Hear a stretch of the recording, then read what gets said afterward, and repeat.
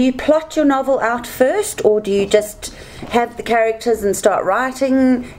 How do you? Um, the characters come first always. Characters are very. I I, I make myself sound crazy because I'm like the voices, the voices.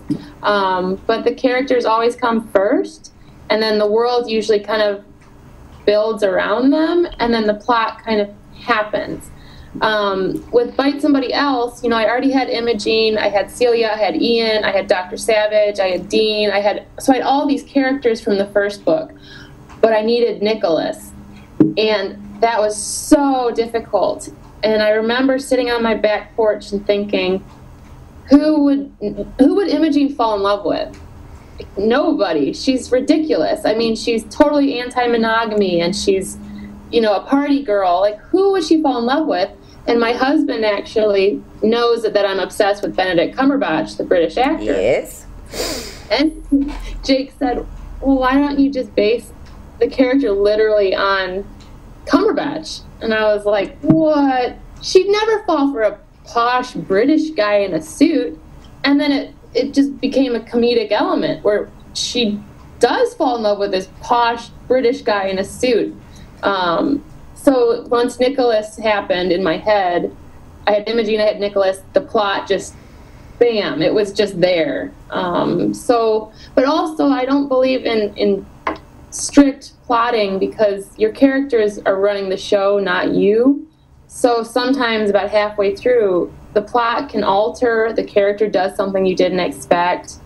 Uh, I just believe in listening to the characters and kind of letting them do their thing. Uh, and if the characters aren't doing their thing, they're probably not very complex characters.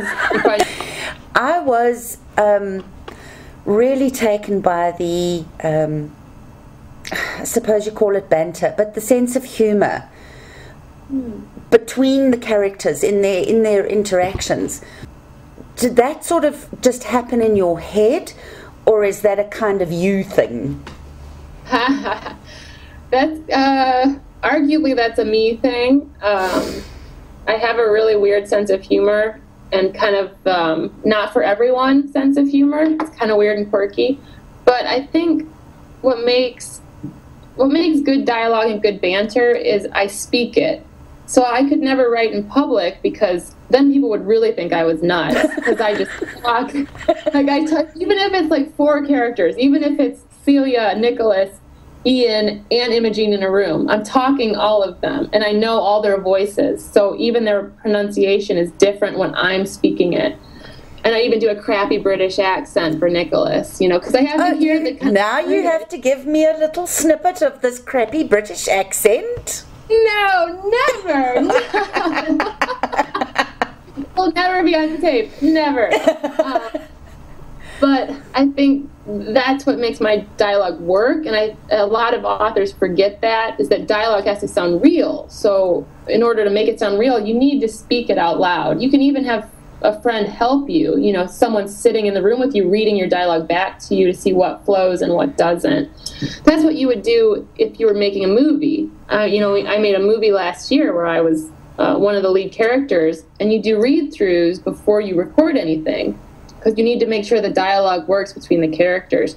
And they do that in film, they do that do that in television, and I don't know why people don't do that in novels because it has to have that same banter quality. And yeah. so that's what I that's what I always do. Um, my dialogue has always been one of my strong points. That's one of my favorite things to write is dialogue. I think it's so much fun. So the banter just kind of happened in Bite Somebody Else and in Bite Somebody, but it helps when you have characters like Imogene and Celia and Ian like working off each other because they're all so just silly. so it's so easy to have Ian like vomiting and then freaking out about things and you know have Celia like screaming that he's going to break up with her and you know, of Nicholas in the background just being like, "You're all idiots" in his British accent. You know, it just it was easy to make that work because the characters were already funny.